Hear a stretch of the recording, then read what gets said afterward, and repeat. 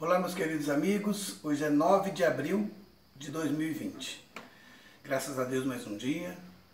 E com o mesmo sentimento de gratidão a Deus, de dividir com vocês o dom de tocar viola, de mostrar músicas novas, sempre desejando boas vibrações, sentimento de amor, renovação de esperança para todas as pessoas que tiverem acesso a esse vídeo.